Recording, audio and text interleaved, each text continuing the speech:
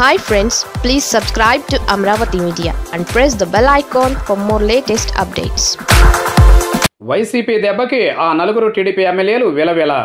రెండు వేల పంతొమ్మిది అసెంబ్లీ ఎన్నికల్లో దాదాపు ఉత్తరాంధ్రను వైసీపీ క్లీన్ స్వీప్ చేసింది. కేవలం ఆరు స్థానాల మినహా శ్రీకాకుళం విజయనగరం విశాఖ జిల్లాల్లో మొత్తం సీట్లను ఊడ్చిపారేసింది.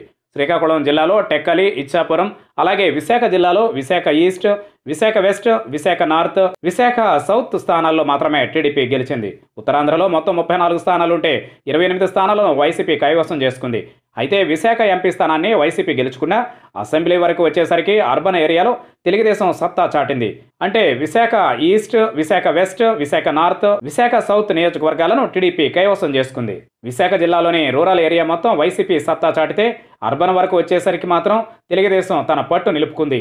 అయితే ఇప్పుడు విశాఖను ఆంధ్రప్రదేశ్ పరిపాలనా రాజధానిగా జగన్ ప్రభుత్వం ప్రకటించడంతో నలుగురు టీడీపీ ఎమ్మెల్యేలు ఇరకాటంలో పడ్డారు. ఒకవైపు విశాఖను పరిపాలనా రాజధానిగా టీడీపీ వ్యతిరేకిస్తూ ఉంటే అందుకు సపోర్ట్ చేయలేక అలాగని విశాఖను ఎగ్జిక్యూటివ్ క్యాపిటల్గా అంగీకరించలేక సతమతమవుతున్నారు. దాంతో ఆ నలుగురు టీడీపీ ఎమ్మెల్యేలను టార్గెట్ చేసుకుని విశాఖ జిల్లా వైసీపీ ఎమ్మెల్యేలు సవాళ్ళు విసురుతున్నారు. విశాఖను ఆంధ్రప్రదేశ్ పరిపాలనా రాజధానిగా చేయడం వైజాగ్ అర్బన్ టీడీపీ ఎమ్మెల్యేలకు సమ్మతమో కాదో స్పష్టమైన ప్రకటన చేయాలని వైసీపీ నేతలు డిమాండ్ చేస్తున్నారు. ఒకవేళ ఇష్టం లేకపోతే రాజీనామా చేసి రెఫరెండం కోసం ఉప ఎన్నికలకు వెళ్ళాలని పదే పదే సవాళ్ళు విసురుతున్నారు. టీడీపీ ఎమ్మెల్యేలను ఎలాగైనా ఇరుకున పెట్టడమే లక్ష్యంగా వైసీపీ నేతలు విమర్శనాస్త్రాలు సంధిస్తున్నారు.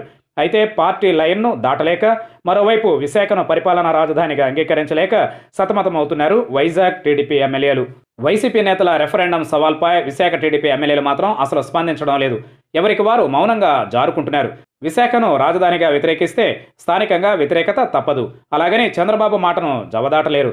పార్టీ స్టాండ్ను ఫాలో అవుతూనే పర్సనల్ ఇమేజ్ డ్యామేజ్ కాకుండా వ్యవహరిస్తున్నారు.